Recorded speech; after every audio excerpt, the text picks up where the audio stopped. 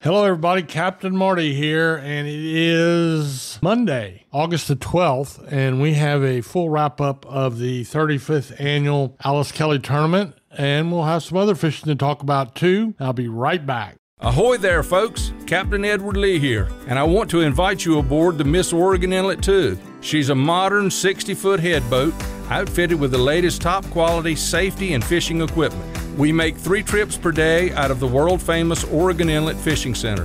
Visit MissOregonInlet.com or call us today at 252 251 4314. So ditch the beach for a bit and set sail with the Miss Oregon Inlet 2.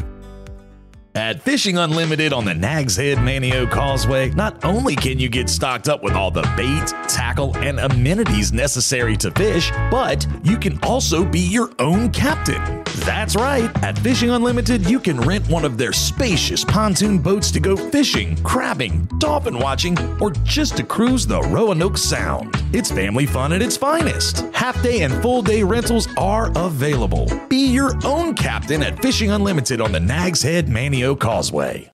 All right, so uh, the Alice Kelly is in the books. Alice Kelly, an old friend of mine, an old client that I fished as a mate and a captain for many years. It's tournament in her memory. And I tell you what, we had 152 boats and we lucked out and got a pretty day weather-wise. With the weather we had earlier in the week with Debby, uh, there was some question about all that, but everything worked out. We had a good close tournament that was won in the last five minutes of the tournament. So the way that kind of worked out, there were a number of boats that were holding on 400 points. They would have been the Citation, the Salad Girl, the Due South, and the Renegade. All had 400 points tied, but they were in that order. Citation was in first place based on they got their 400 points first, and all four of those fish had four sailfish per boat. Pretty good day. But the Fender Bender had caught two blue marlin earlier in the day. They were worth 150 points apiece as compared to the 100 points apiece the sailfisherman caught. So he was behind. He had 300 points, two blue marlin, 150 points apiece, and uh, he was still having a great day with two blue marlin releases. Then within the last five minutes, he called that he was hooked up, and you can fight a fish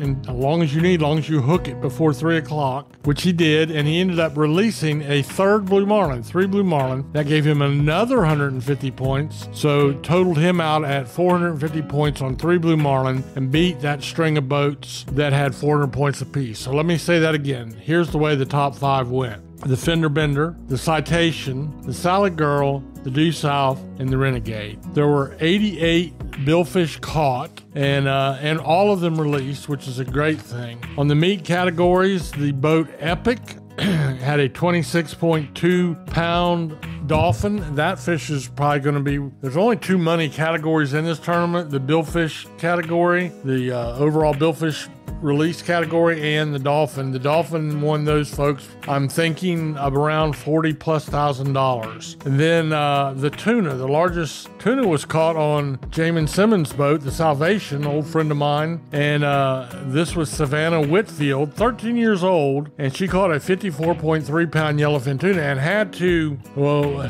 stave off a bunch of challengers. There was a bunch in the 45, 46 pound range, but she held on to win that prize. And uh, the biggest wahoo was caught on the Bobo Joe. Uh, a group of gals I know fairly well, they caught a 47.4 pound wahoo to take home the wahoo trophy. So that's kind of the long and the short of things as they happened in the Alice Kelly tournament. Now, what we call the big tournament, the annual 41st annual Pirates Cove Billfish Tournament, will be Tuesday through Friday, are the fishing days. Tomorrow, excuse me, today will be a, a, day of registering, getting boats ready, and some boats will be practice fishing, which is something new. They didn't do that when I tournament fished, but they'll be practice fishing, getting all their ducks in a row, and then they'll fish three out of the four next four days: Tuesday, Wednesday, Thursday, Friday. And um, you can stay right here, and we'll bring we'll bring uh, updates each morning. You can also go to fishpiratescove.com or PCBGT. You can go uh,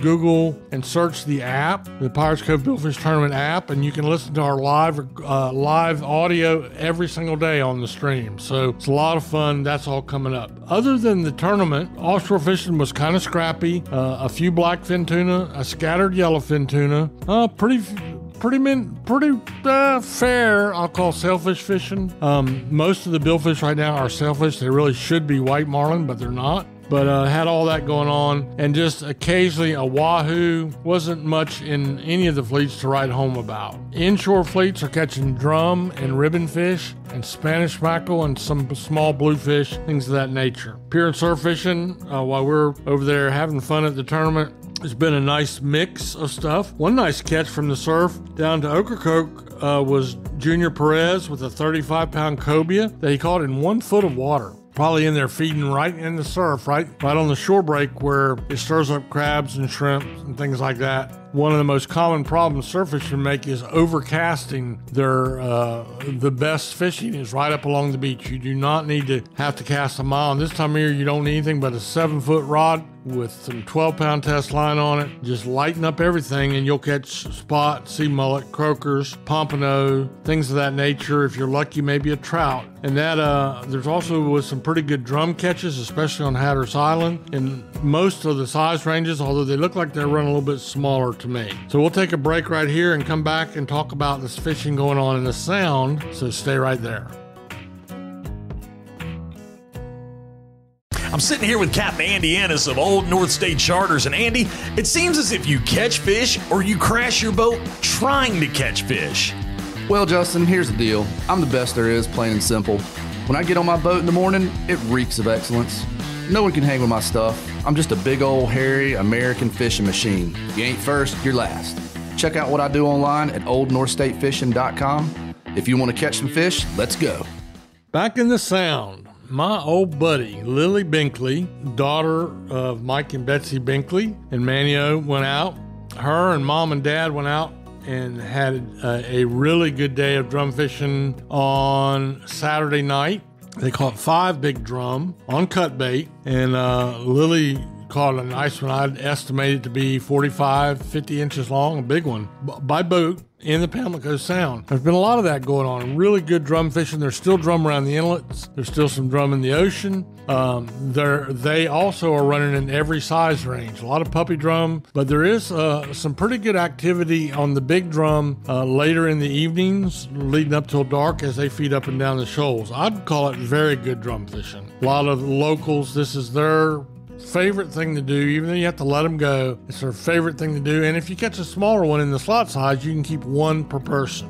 There's also some very good speckled trout going on. We've talked about that almost every single fishing report, but uh, I'm not making that up. It's been good a good summer on speckled trout. Sizes are smaller, numbers are up, so keep that in mind too. And there's still other things like black drum and sheephead. A few bluefish back in the sound. I'm not. I still not seeing a whole lot on the summer bottom feeders, spots and croakers, flounder, things like that. But uh, if we hear of any changes in that regard, we'll let you know. There has been. I did mention. Uh, some croaker fishing. We love to see the pier when the croaker bite gets on. That's due to happen almost any time now, where people will come down and fill coolers full of croakers, mostly croakers, and a few spots as well. So uh, just stay right here and we'll let you know of any breaking fishing news. Meanwhile, we'll be back to the tournament all week long. And uh, if you get a chance, to come out to Pirates Cove every evening. You can walk the dock. It's open to the public. Be careful where you park and uh, don't block fire lanes or things like that. Don't block driveways. But come on out and say hi. I'll be out there every evening. And